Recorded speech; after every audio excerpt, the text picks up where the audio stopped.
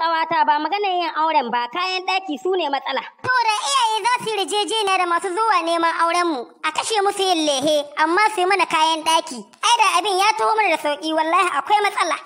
Don Allah a kashe masa mari yi mana lehe su rinƙa mana kayan ɗaki shi ne mafita. Tuga an sa ranar aurenki amma babu kayan ɗaki.